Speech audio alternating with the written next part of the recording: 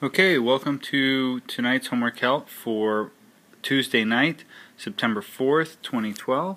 Uh, we're starting with operations with integers and dividing in integers specifically. Please don't forget to put your entire first and last name, the date, uh, I'm asking that you put your period and actually put your group number now too, the one that you sit at, as well as circle your teacher's name. So dividing with integers, tell whether each quotient is positive or negative. So all we have to do is look, we have one negative and another negative.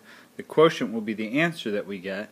So I look at two negatives. If I have, that's a positive and a positive, that's a negative and a positive, positive and a negative. Here is a negative and a negative, which is what we have here.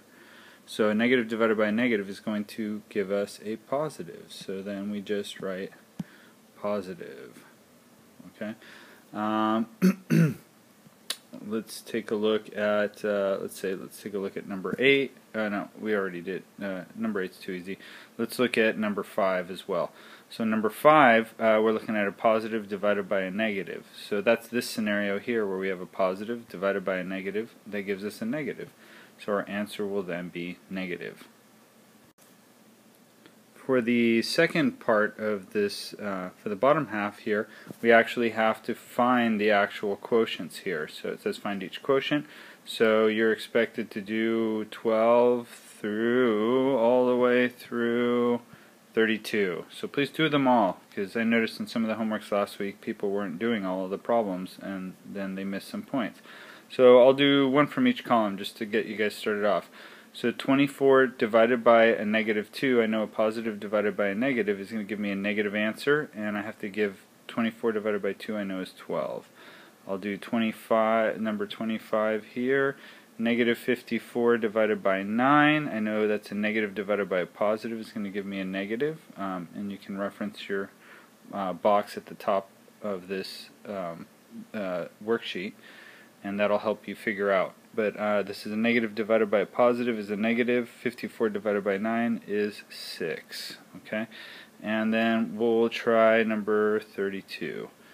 Okay, we have 6 divided by a negative 3. I know a positive divided by a negative is also a negative, so 6 divided by 3 would leave me a 2, so the answer is negative 2. Uh, moving on to the back side, Okay, now we're on the back side, uh, reading books. The students at Horace Mann Elementary School are reading books. This group of students recorded the number of books they read this week. Here are the results.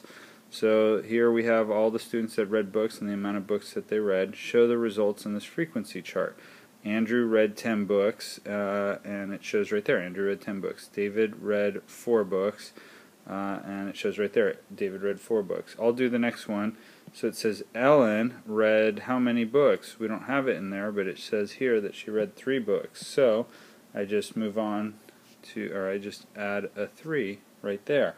Uh, please um, be sure and fill out the rest uh, for Lionel, Maria, and Rosie. Okay, and then for problem for part two. Now show the same results on this bar graph below. Books read in a week. Okay, well, um, it said Andrew had read 10, and there's his 10, and it said David actually had read 4. That's what it said up there, but it's not on this bar graph. So I'll shade in 4 on down for David because as you can see it says here David read 4 books. So I'd like you to shade in and fill in the rest of these as well. Okay? And that's the easy side of the homework. Uh, good luck and go Bears! Roar!